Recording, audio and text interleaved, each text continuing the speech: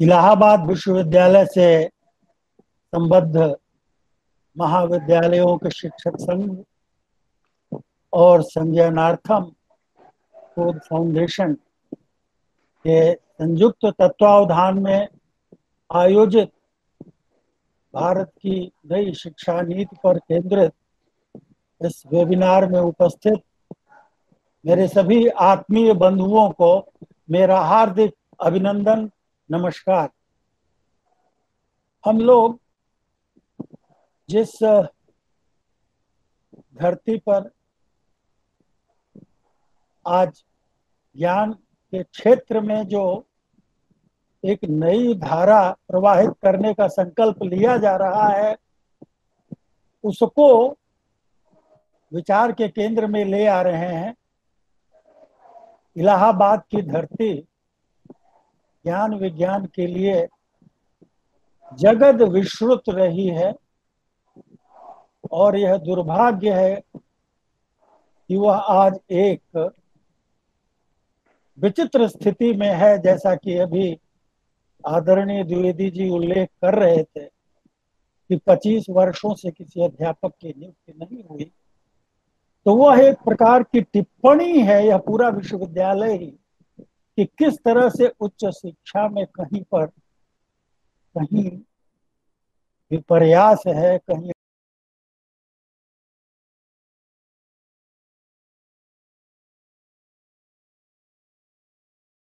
अनेक हैं।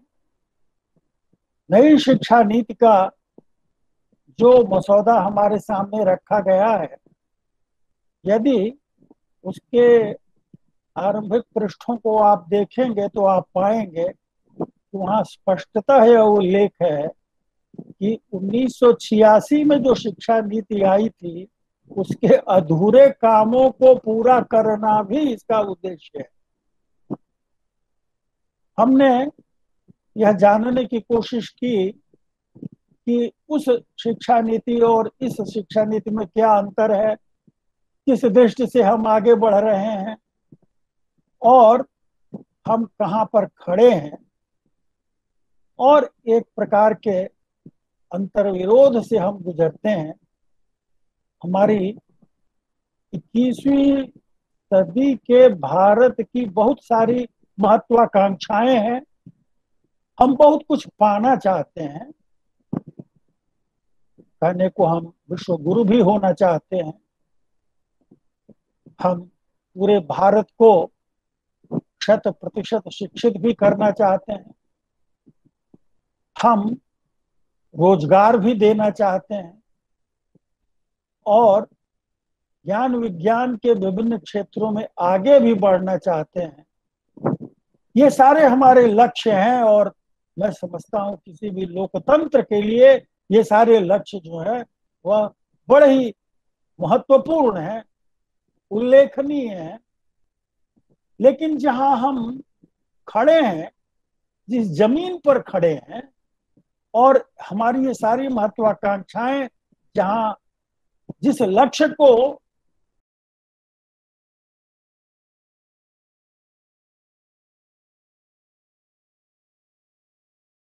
दूरी संकल्प की है, यह दूरी एक प्रकार की प्रतिबद्धता की भी है तो कहीं न कहीं हम सब में उतनी नहीं है जितनी की होनी चाहिए।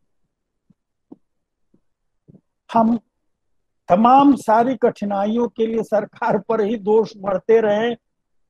मैं समझता हूँ यह ठीक नहीं है। हमारी अपनी भी भागीदारी इसमें है कि इन सारी व्यवस्थाओं में कहा चूक हो गई। वैसे एक बात तो बड़ी स्पष्ट है कि भारत की, स्वाधीन भारत की जो शिक्षा की प्रक्रिया शुरू हुई, वह पराधीन भारत की शिक्षा की प्रक्रिया का ही विस्तार रही। कहीं उसमें स्वाधीनता का चिंतन नहीं आया। उसमें उस विचार के स्वराज की बात नहीं आई जो कभी केसी भट्टाचार्य ने 1930 में हमारे सामने रखी थी। तो ज्ञान के दृष्टि से जो परिवर्तन होना चाहिए था और जो भारत की ज्ञान परंपरा के साथ एक विद्वेष का भाव एक दूरी हमारे मन में पैदा की गई थी वह ज्यो की त्यों चलती रही और पुष्ट होती रही और हम अपनी ही विरासत से दूर होते चले गए। आप विचार करिए कि जिस शिक्षा नीति को भारत में अंग्रेज़ों ने लगाया, उसका उद्देश्य केवल बाबू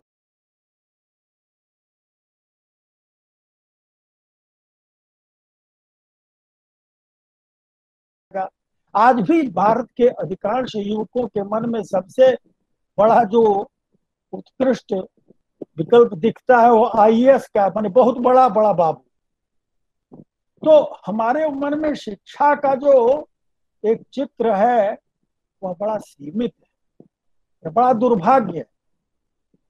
शिक्षा को मुक्ति का माध्यम माना गया। शिक्षा को मुक्त करने का एक तरीका सोचा गया और शिक्षा का कोई साक्षात संबंध रोज़गार से हो, ऐसा कभी शिक्षा शब्द में, विद्या शब्द में, ज्ञान शब्द में कहीं दिखाई नहीं पड़ता। तो अगर विद्वत्ता आती है, ज्ञान आता है, कौशल आता है तो बाकी चीज़ें तो होंगी ही होंगी, कहा जाएगा? पर ऐसा हुआ नहीं। और हमारा उद्देश्य जो है शिक्षा को एक उपकरण के रूप में जिस ढंग से हमने ढाला, वह कहीं न कहीं अपने लक्ष्यों से, मूल लक्ष्यों से भटक गया। आप जितने भी दस्तावेज़ हैं भिन्न भिन्न आयोगों के उनको पढ़िए, उसमें जितनी आदर्श और अच्छी बातें आप खोजना चाहते हैं, आपको मिल जाएँगी। कहीं भी आपको, न तो सर्वपल्ली राधा कृष्णन न कोठारी आयोग, और फिर आगे राम मूर्ति जी ने जो लिखा पढ़ा, जो छियासी की हमारी एक नीति बनी वह इन सब में कोई आप कमी नहीं पाएँगे। और सारे के सारे उद्देश्य भी बड़े उज्जवल है। सबका उद्देश्य है कि समावेशी शिक्षा हो, सब तक शिक्षा पहुँचे, सभी समर्थ बने।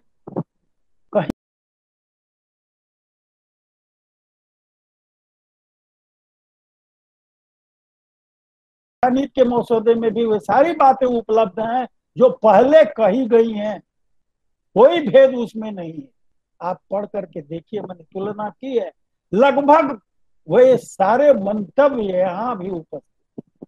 यह ज़रूर है कि समय स्थिर नहीं रहता है, गतिशील है, परिवर्तन होता है।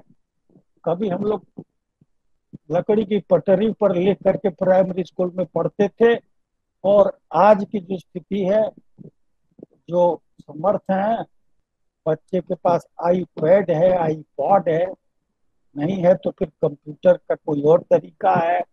आप टीवी से संबद्ध होते हैं, डिजिटल मीडिया, तमाम सारी ये चीज़ें जो हैं हमारे परिस्थिति को बदल दे चुकी है। और शिक्षा केवल विद्यालय में ही नहीं हो रही है, सोशल मीडिया भी है, अखबार भी है, टीवी भी है, जाने कितने प्रकार से आपको सूचनाएँ निरंतर मिल रही हैं, जिनके संस्कार आपके मन में पड़ रहे हैं। शिक्षा के तमाम सारे स्रोत हैं, परिवार भी है, समाज भी है। जो कुछ घटनाएँ घटित हो रही हैं, वो सब भी है। तो मैं समझता हूँ कि शिक्षा के स्रोतों में बहुत सारी बहुलता आ गई है, विविधता आ गई है, और तमाम तरह के संदेश आते रहते हैं। टीवी पर 24 घंटे जो निरंतर अब हमारे पास उपलब्ध है, नाना प्रकार के विज्ञापन आते हैं हमारी मनोभावनाएँ बदलती हैं, हमारी जरूरतें बदलती हैं, हमारी आवश्यकताओं को फिर से परिभाषित किया जाता है। और आज के तारीख में अगर आप एक सक्रिय व्यक्ति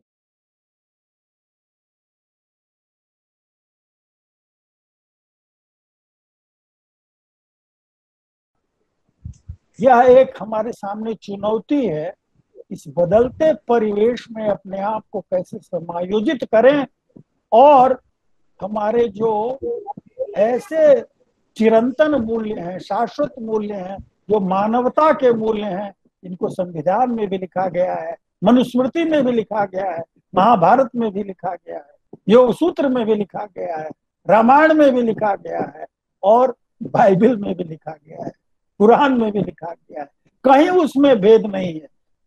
वे सारे मानव मूल्य हमको आकर्षित करते हैं। एक धरातल पर हम उनको स्वीकार करते हैं, पुस्तक के पन्नों में हम उसे रखते हैं, याद भी कर लेते हैं और बच्चे को सोशल साइंस में प्रश्न के उत्तर के रूप में पूछ भी लेते हैं, लेकिन क्या उनसे मूल्य का सृजन हो पा रहा है? आप स्वयं मन में विचार करें कि शिक्षा जिस मूल्य सृजन के लिए रची गई है, वह मूल्य सृजन किस प्रकार घटित हो रहा है? और हमें संदेह है कि ऐसा हो नहीं रहा, ऐसा नहीं हो पा रहा है। उसके परिणाम के रूप में हमारे सामने बहुत सारे संकट हैं।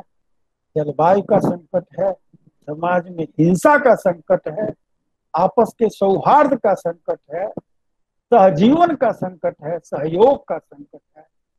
और हम देख सकते हैं हमारे पढ़े लिखे बहुत सारे जो राजनेता गण हैं, वह किस प्रकार लोकतांत्रिक प्रक्रियाओं का दुरुपयोग कर रहे हैं। क्या घटित हो रहा है आपके सामने है? आप देख लें कि हम सब लोग किस प्रकार के चारित्रिक संकट का सामना कर रहे हैं। शायद केवल शिक्षा को ही इसका कारण हम नहीं कहेंगे, लेकिन शिक्षा भी एक उसका कारण है। और शिक्षा में जो गिरावट आई है, वह हमारे सामने है। मित्रों, शिक्षा की गिरावट कई रूपों में है। हम सब लोग अनुभव कर रहे हैं शोध को लेकर के, किस प्रकार की कठिनाई उच्च शिक्षा में है। हम यह भी अनुभव कर रहे हैं कि किस प्रकार से नंबर को लेकर के, अंक को लेकर के हम गंभीर हो गए हैं। ज्ञान को उतना महत्व हम नहीं देते, परीक्षा ही शिक्षा का केंद्र बिंदु हो गया। है शिक्षा और विद्या से व्यक्ति में, उसके मानस में, उसके आचरण में परिवर्तन आना चाहिए, वह परिवर्तन नहीं आ पा रहा हम उन मूल्यों को जी नहीं रहे हैं, हम उनको अपने समाज में स्थापित नहीं कर पा रहे हैं, नहीं तमाम दुर्दशा हो रही है वह नहीं हम उन सारे संकटों का उल्लेख करके अपने आप को समझने की यदि कोशिश करें तो आप पाएँगे कि कहीं न कहीं शिक्षा का गहरा संबंध है। उस शिक्षा की प्रक्रिया का, उस शिक्षा के परिणाम का, उस शिक्षा के लक्ष्य का विचार करना बड़ा आवश्यक इस पृष्ठभूमि में यदि देखा जाए तो नई शिक्षा नीति का जो दस्तावेज़ है, वह कुछ कदम आगे चलता है।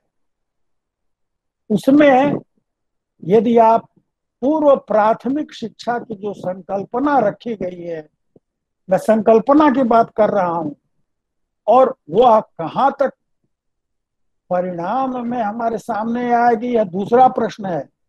लेकिन जिसे ई सी सी कहते हैं, जो पूर्व प्राथमिक शिक्षा है, उस पर विचार करना और वहाँ पर बच्चे को शारीरिक पोषाहार भी देना, उसके मानसिक और शारीरिक विकास की चिंता करना एक बहुत बड़ा परिवर्तन कहा जाएगा, जो अभी तक गंभीरता से नहीं लिया गया था और मैं इसके लिए साधुवाद देना चाहता हूँ। शिक्षा का आरंभ जहाँ होना चाहिए, हम वहाँ पर चर्चा कर रहे हैं।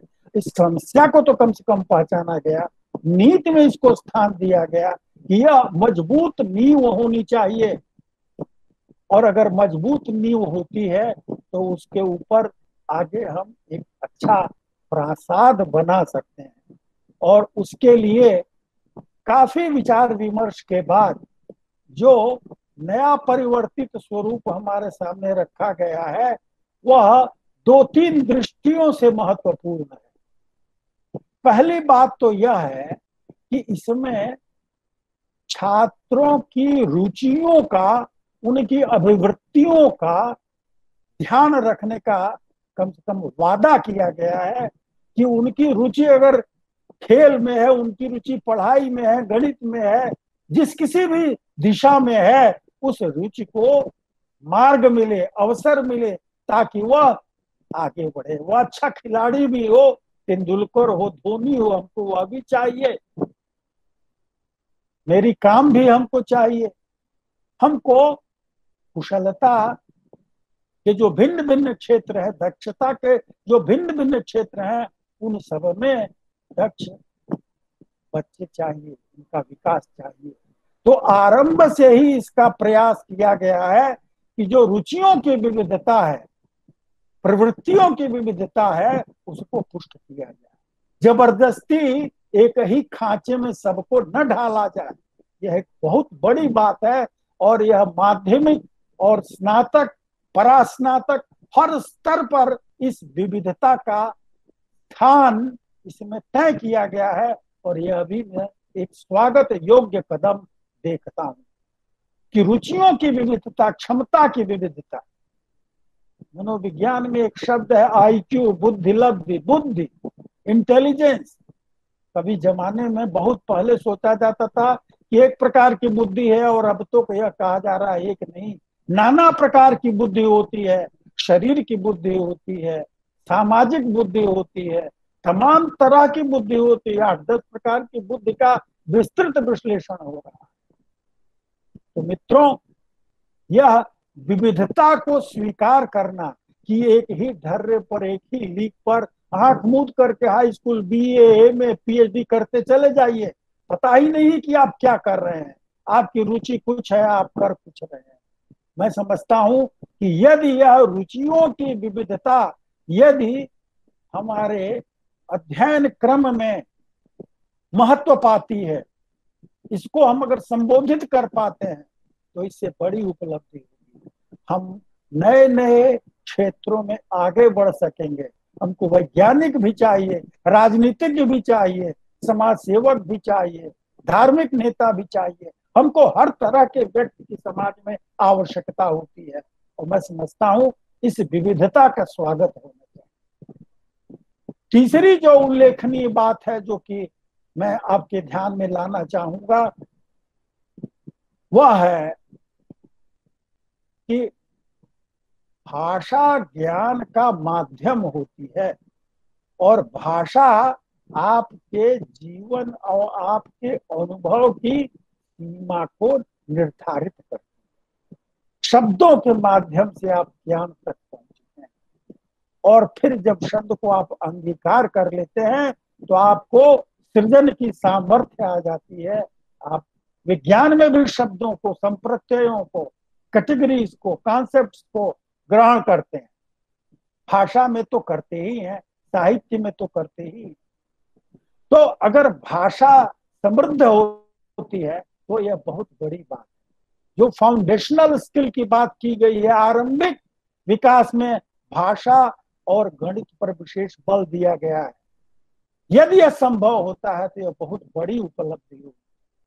भाषा को इस दृष्टि से भी आप देखें कि घर में जिस भाषा का उपयोग होता है, जो बच्चे की मातृभाषा है, उसमें यदि उसे अध्ययन का अवसर मिलता है तो विद्यालय में, विश्वविद्यालय स्तर तक उसके चिंतन का जो विकास होगा, उसमें मौलिकता होगी।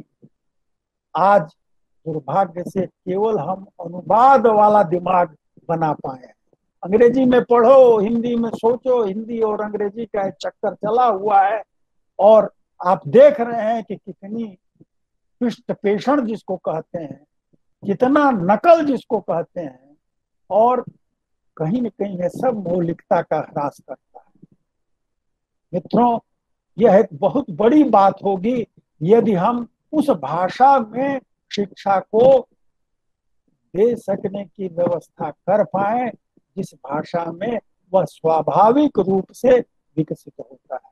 भारत एक बहुभाषी देश है और हर आदमी यहाँ पर कई भाषाओं का उपयोग करता है। भोजपुरी, हिंदी, अंग्रेज़ी, संस्कृत, उर्दू, इन सब का उपयोग बहुत सारे लोग करते हैं। और यदि आपको अपनी मातृभाषा में प्रवीणता आ गई, दक्षता आ गई तो आप उस भाषा की जो अर्थवत्ता है, भाषा की प्रकृति है, भाषा का व्यवहार करने की जो आपकी क्षमता है, वह यदि आप में आ गई तो आप आगे चल करके अन्य भाषाएँ भी अच्छी तरह सीख सकते और केवल अगर यही रटते रहे ये फॉर एप्पल और यही अनुवाद की प्रक्रिया ही यदि आरंभ में स्थापित हो गई तो जीवन भर यही करते रहे। हम अन्य भाषाएँ सीख सकते हैं। तब जब हमको अपनी भाषा अच्छी तरह से आती है।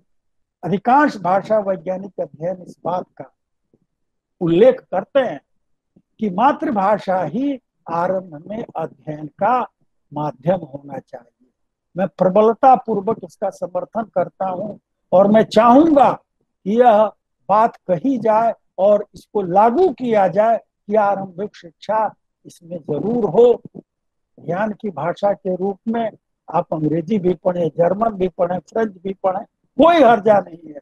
लेकिन आपकी शिक्षा का जो आधार है, वह मातृभाषा होनी चाहिए। और यदि इसका विस्तार होता है ऊपर की कक्षाओं में तो यह और अच्छी बात है। इसके लिए हमको परिश्रम करना पड़ेगा, सामग्री तैयार करनी पड़ेगी। मानसिकता तैयार करनी पड़ेगी। आप आप अनुमान लगाइए कि कितनी पुस्तकें सारे विषयों की सब की सब अंग्रेज़ी में छपी हुई हैं और अमेरिका और जर्मनी और इंग्लैंड की छपी हुई हैं। एक एक पुस्तक की कीमत आठ हज़ार, दस हज़ार रुपए है। किसी एमए के पाठ्यक्रम में पॉलिटिकल साइंस को ले लीजिए और सारी पुस्तकों का मूल्य अगर आप निकालिए तो लाख रुपए से ज़्यादा हो अगर वह सामग्री हिंदी में हो, भारत में प्रकाशित हो तो वह सुगम भी होगी, ग्राह्य भी होगी, आपकी भाषा भी समृद्ध होगी और व्यक्ति को क्षमता भी प्राप्त होगी, दक्षता भी प्राप्त होगी। तो भाषा एक बड़ा प्रमुख मुद्दा है और हमको बहुभाषी समाज की जो प्रवृत्ति है, उसको भी समझना पड़ेगा और हमको मातृभाषा, घर की भाषा, क्षेत्रीय भाषा मैं इनको एक ही प्रकार से देख रहा हूँ। और उसमें यदि अवसर प्राप्त होता है, सीखने का अवसर प्राप्त होता है, पढ़ने का अवसर प्राप्त होता है तो ज्ञान की जो ललक पैदा होगी, ज्ञान में जो प्रवेश होगा, वह सुदृढ़ होगा और आगे चलकर व्यक्ति में आगे बढ़ सकता है। तो भाषा की दृष्टि से एक नया प्रस्ताव इसमें है और उसको लागू होना ही चाहिए। त्रिभाषा को एक सूत्र के रूप में पुनः इसमें रखा गया है। जाने कब से इसका उल्लेख किया जा रहा है? हम लोगों के अपने अपने मन के पूर्वाग्रह हैं। हमको यह देखना पड़ेगा कि किस प्रकार हम इसको लागू करते हैं। अच्छा हो कि उत्तर भारत में दक्षिण भारत की भाषा पढ़ाई जाए, दक्षिण भारत में उत्तर भाषा, उत्तर भारत की भाषाओं को पढ़ाया जाए। शायद इस तरह की पहल अगर होती है तो यह देश की एकता के लिए, देश को समर्थ बनाने के लिए, उनकी पारस्परिकता के लिए बहुत ही अगली जो उल्लेखनीय बात है, जो कि कहीं सक्षम बनाने के दृष्टि से आवश्यक है, वह है कि एक छात्र की विकसित होती हुई जो परिस्थिति है, उसकी अपनी क्षमता है उसका अपना निर्णय है, वह बदल सकता है, परिवर्तित हो सकता है, और इसलिए कहीं न कहीं यह शिक्षा के क्रमशः ऊपर जब कक्षा में आप आगे बढ़ते हैं तो आपको विकल्प मिलने चाहिए। यह एक बहुत ही महत्वपूर्ण बात है कि यदि आप बारहवीं के बाद कुछ पढ़ के छोड़ना चाहते हैं, कोई विकल्प लेना चाहते हैं तो आपको छूट मिलनी चाहिए। और उसका आदर भी होना चाहिए। आप फेल या भागा हुआ न, बल्कि डिप्लोमा के रूप में, डिग्री के रूप में ऑनर्स के रूप में आपकी प्रतिभा का, आपके अध्ययन का सम्मान होना चाहिए। तो उच्च शिक्षा के क्रम में जब आप आगे बढ़ते हैं तो यह अवसर की विविधता और बाहर निकलने की छूट अगर आपको वैधानिक रूप से प्राप्त होती है तो उसका लाभ आपको मिलेगा, जीवन में नौकरी के लिए मिलेगा भिन्न भिन्न कार्यों को करने के लिए मिलेगा। और इस तरह से यदि भिन्न भिन्न अवसर प्राप्त होते हैं तो शायद बात बनेगी। अब वर्तमान परिस्थिति में सबको तीन वर्ष का बीए या बीएससी करना ही करना है। नहीं तो बीए की डिग्री आपको नहीं मिलेगी। और वही करके कोई उच्च शिक्षा में भी जाएगा और कोई शिक्षित भी रहेगा, कोई कुछ नहीं करेगा। क्यों ज़बरदस्ती आप सबको वह तीन साल का पढ़ाएँगे, ही पढ़ाएँगे? अच्छा है कि आप दो वर्ष में अगर निकलना चाहें तो आप निकल जाए, तीन वर्ष में निकलना चाहें तो आप निकल जाए। जो उच्च शिक्षा के लिए सबको क्यों उच्च शिक्षा दी जाए? किस प्रकार की उच्च शिक्षा है?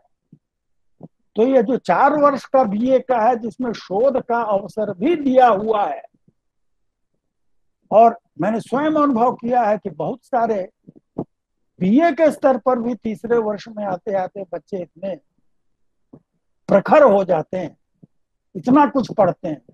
मेरा अपना अनुभव दिल्ली विश्वविद्यालय के जहाँ पर ऑनर्स के पाठ्यक्रम में तीन वर्ष तक लगातार एक विषय में बच्चे को खूब पढ़ने के लिए, मनन करने के लिए, कार्य करने के लिए अवसर मिलता है।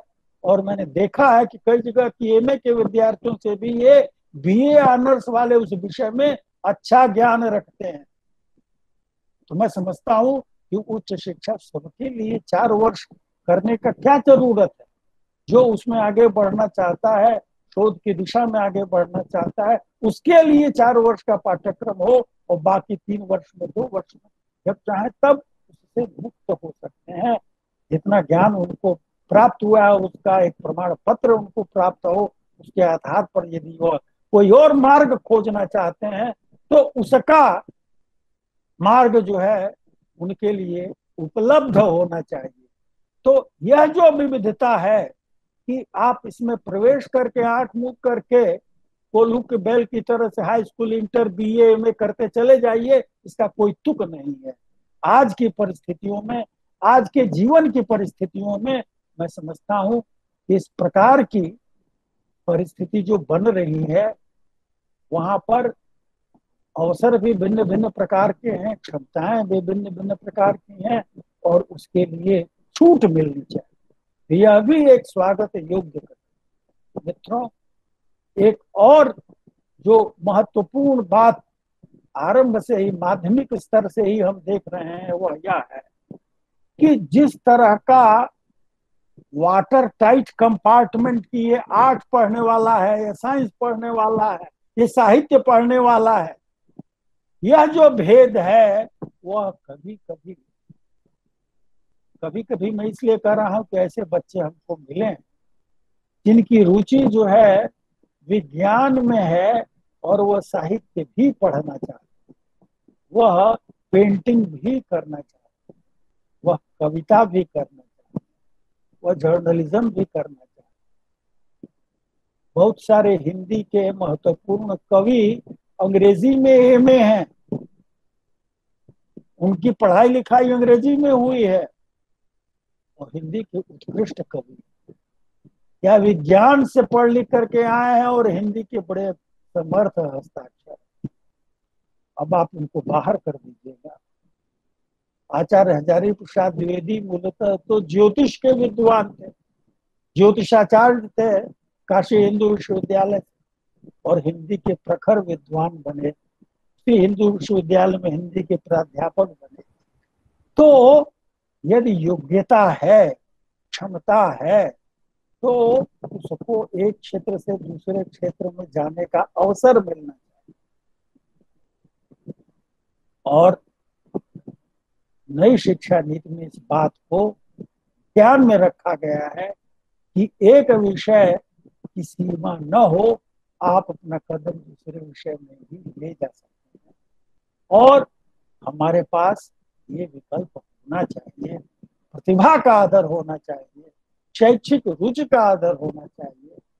विद्या को लाभ मिलेगा यदि कोई व्यक्ति है जो विज्ञान से है और साहित्य में रुचि रखना चाहता है और उसका लाभ उसको मिलना चाहिए। आनंद कुमार स्वामी भू वैज्ञानिक थे और इतने बड़े कलाविद बने की तमाम ग्रंथ उन्होंने लिखे और उनका नाम जगत विश्व कलाविद के लिए भारत विद्या के जानकार के लिए।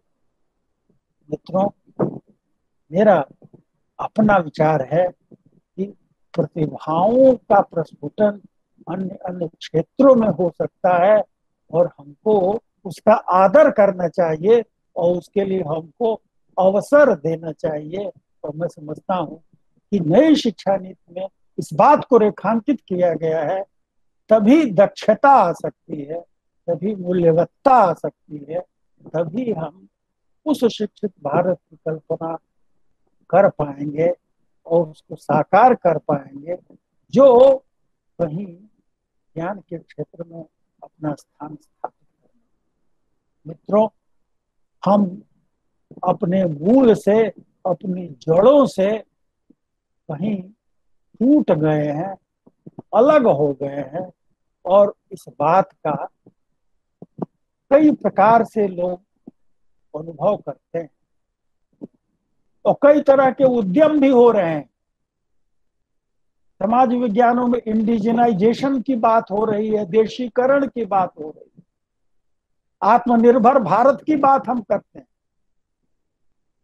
और हम यह भी चाहते हैं कि हमारी अपनी पहचान हो। हमारी अपनी अस्मिता हो, हमारी अपनी आइडेंटिटी हो, और इन सब के लिए आवश्यक है कि हम अपनी जड़ों से कहीं न कहीं जुड़े। जो कुछ भारतीय मूल का ज्ञान विज्ञान है, उसकी आंतरिक शक्ति है, वेद की, उपनिषद की, व्याकरण की, ज्योतिष की, साहित्य की, जितनी परंपराएँ आप पाएँगे नाट्य शास्त्र की काम शास्त्र की, अर्थशास्त्र की। वे सब तमाम प्रकार के प्रहार, तमाम प्रकार के झंझावात सहते हुए आज भी किसी न किसी रूप में जीवित हैं। और वह इस बात के प्रमाण के लिए पर्याप्त है कि उनमें कोई आंतरिक शक्ति है। उनके विचारों को बिना पढ़े तिरस्कृत करना, छोड़ देना व्यर्थ की बात है। मैं ज़्यादा विस्तार में न जा करके यह ज़रूर कहना चाहूँगा उन बहुत सारे विचारों को जब कोई पाश्चात्य विचारक पढ़ लिख करके, उसको अंग्रेज़ी में लिख करके, जर्मन में लिख करके हमारे पास ले आता है तो हम उसका आदर करते हैं, चाहे वह योग हो, चाहे वो व्याकरण हो, चाहे वो भाषा का ज्ञान हो, चाहे वो अर्थशास्त्र का ज्ञान हो, राजनीति का ज्ञान हो, यह एक विचित्र स्थिति हमारी है और हमारा परिचय ही उससे नहीं हो रहा है। हमारा सीधा परिचय उसे खंडित कर दिया गया और उसको हमने अपनी नियति मान लिया। मैं समझता हूँ, कहीं न कहीं उसको उसका जो प्राप्तव्य है वह मिलना चाहिए। हम अपनी जड़ों से जुड़ करके सुदृढ़ होंगे। वृक्ष जो है अगर उसके जड़ की जो स्थिति है, वहाँ अगर आप सिंचन करते हैं, उसे सुदृढ़ बनाते हैं तो बड़ा होगा। उसकी तमाम शाखाएँ निकलेंगी और उस शाखा, प्रशाखा जाने कितने भी प्रकार के रूप उसके होंगे, उसका विकास होगा।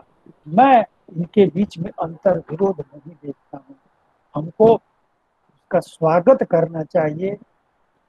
और शिक्षा नीति में इस बात पर बल दिया गया है कि विषयों की ओर भी जो भारत विद्या है, भारत का अध्ययन है, भारत का चिंतन है, उसको भी स्थान दिया जाए जहाँ जहाँ संभव इस दृष्टि से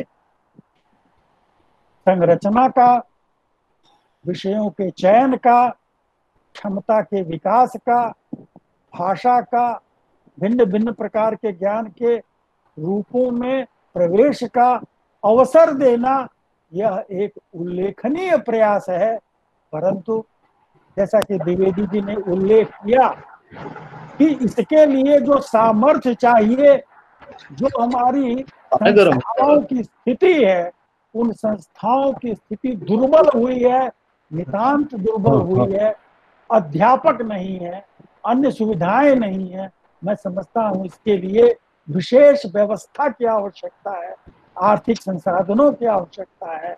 और मुझे पूरा विश्वास है कि यह जो सरकार है, वह जिस रूप से शिक्षा के ऊपर कम से कम शिक्षा नीति में अपनी प्रतिबद्धता दिखा रही है, उसी तरह से इसको कार्य रूप में लागू करने के प्रति भी प्रतिबद्ध होगी और इस परिस्थिति को बदलेगी। उसको लेकर के और गंभीर चर्चा हो सकती है। समय अभाव है, इसलिए मैं उस पर बात नहीं करूँगा। लेकिन हमारे सामने लक्ष्य हैं और वे लक्ष्य ठीक हैं, उसके लिए मार्ग और उस मार्ग पर चलने के लिए हमारी तत्परता होनी चाहिए और संसाधनों के लिए शायद समाज को भी भाग लेना पड़ेगा और सरकार को भी भाग लेना पड़ेगा। तभी जाकर के हम इस लक्ष्य को पा सकेंगे। आपने मुझे अवसर दिया, मेरी बातें आपने सुनी, मैं आपके प्रति हार्दिक कृतज्ञता ज्ञापित करता हूँ। बहुत बहुत धन्यवाद।